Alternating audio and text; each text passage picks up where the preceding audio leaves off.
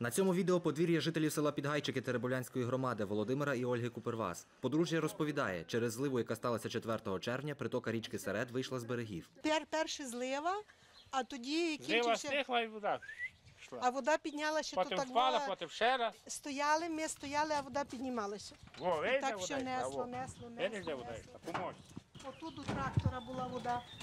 За словами Ольги Купервас, потік приніс на їхнє подвір'я сміття, а також затопив грядки. Так, вчора спасали все, бо кури тут в курник вільніше, а поросята тут плавали в воді, то я мусила бігти і отак ловити. Ні, плуг, то от на плугу ви бачите, доки була вода.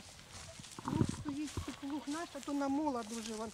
Бачите, скільки намули? На подвір'ї Ганни Колодки також купи на мулу. Жінка каже, через негоду ледь не загинув її собака. Ой, ви бачили, він і т- тримав до гори. Жителька Підгайчиків Лілія Вигінна каже, через негоду загинули її свійські тварини. Там 25 гривень, то чіп'я коштує, то було 8 чи 5, ну і курей 15, ну най по 120 гривень, десь курка. А крилів 5 було чи 6 пішло. Теж. Я знаю, по скільки ті крилики, по, по 100 гривень.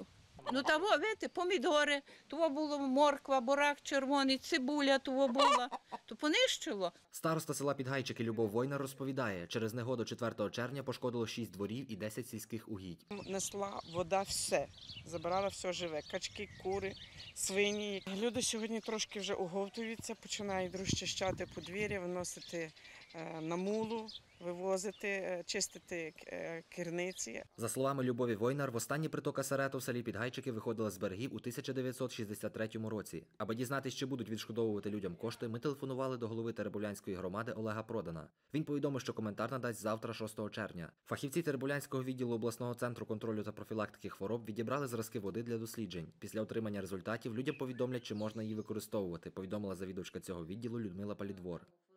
Максим Сказків, Андрій Прокопів, Суспільне новини, Тернопільщина.